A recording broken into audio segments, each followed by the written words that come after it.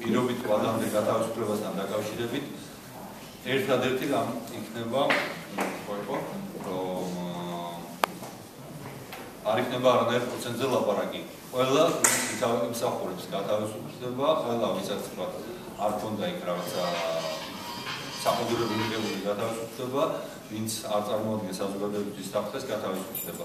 ინდივიდუალური მიდგომა უნდა იყოს ყველა შემთხვევაში შეიძლება ამისთვის საჭირო იყოს რომ კომისიის მუშაობის ფორმატი შეიცვალოს თვითონ და იკრიბებოდეს თქვა არა თვეში ერთხელ როგორც ახლა ხდება ყოველთვის 25 წუთში არამედ თვეში ორჯერ ან ოთხჯერ როგორც საჭირო იქნება.